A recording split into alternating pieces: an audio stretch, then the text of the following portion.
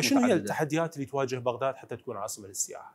يعني اولها الجانب الأمني الجانب الأمني يعني ولو اليوم ال- الأمن نسبيا. جيد لممارسة الن- النشاطات والفعاليات بالإضافة إلى موضوع البنى التحتية هذا موضوع جدا مهم اليوم نحتاج إلى طرق حديثة وسريعة نحتاج إلى وسائل داعمة للقطاع. السياحي مثل الخدمات ال- الداعمة إلى المصارف الجوانب الآلية والإلكترونية مثلا باركات ال- السيارات وسائل النقل الحديثة.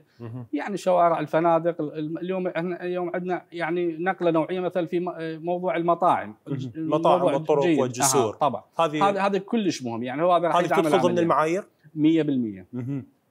المعايير طبعا تقريبا تسع ملفات كل ملف طيب يحمل من 9 إلى 13 فقرة بمختلف الأشكال من ضمنها الصحة والتأمين وهذه الجوانب الداعمة. الاخرى. للسياحه هذا ال- الأساسيات